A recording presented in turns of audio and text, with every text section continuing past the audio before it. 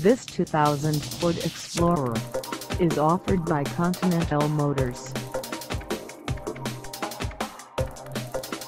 Priced at $2,500, this Explorer is ready to sell. This 2000 Ford Explorer has just over 226,000 miles. Call us at 307-620-2313 or stop by our lot.